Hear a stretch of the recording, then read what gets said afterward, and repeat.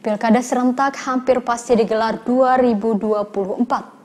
Setelah mayoritas fraksi di DPR menolak revisi Undang-Undang Pemilu.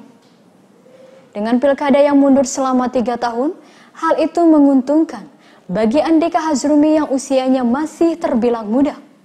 Pasangan kepala daerah yang dikenal dengan sebutan WH Andika harus menganggur dan menunggu selama 1 sampai 2 tahun jika Pilkada Gubernur dan Wakil Gubernur Banten digelar 2024. Status kepala daerahnya atau petahana menjadi hilang dan posisinya diganti dengan pejabat pada 2022 dan 2023.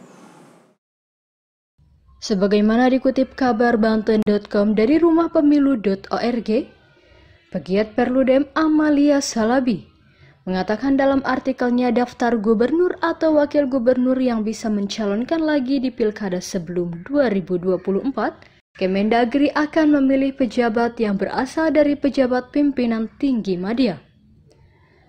Berbeda halnya jika Undang-Undang 7 2017 direvisi dan mengubah jadwal pilkada menjadi sebelum 2024, rakyat sebagai pemilih bisa langsung mengevaluasi melalui pilkada langsung pada 2022 dan 2023. Berdasarkan data dari 34 kepemimpinan daerah tingkat provinsi, hasil pilkada 2017 yang akan berakhir 2022, uniknya posisi gubernur didominasi generasi tua di atas 65 tahun. Dengan pilkada yang baru dimulai 2024 atau 4 tahun dari sekarang, usia jelas menguntungkan posisi wakil gubernur yang didominasi kaum muda. Mereka di antaranya adalah Wakil Gubernur Banten Andrika Hazrumi dan Wakil Gubernur Jawa Timur Emil Dardak yang masih berusia 36 tahun. Dari parlemen dilaporkan kondisi terkini tentang nasib RUU pemilu hampir kandas di tengah jalan. Sebab sebagai parpol bersikap menolak dan hanya menyisakan PKS dan Partai Demokrat.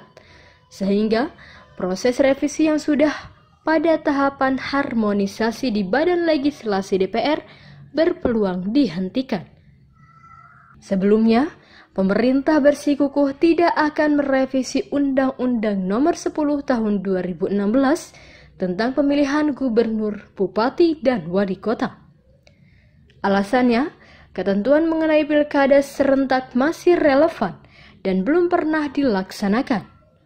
Kepastian bahwa pemerintah tidak akan menyetujui usulan perubahan Undang-Undang Nomor 10 Tahun 2016 terhadap Undang-Undang Pilkada disampaikan Menteri Sekretaris Negara Mensesnek Pratikno melalui keterangan resminya yang dikutip kabar Banten.com dari YouTube Sekretariat Presiden. Demikian berita terupdate kali ini. Saksikan berita lainnya dalam YouTube Kabar Banten TV.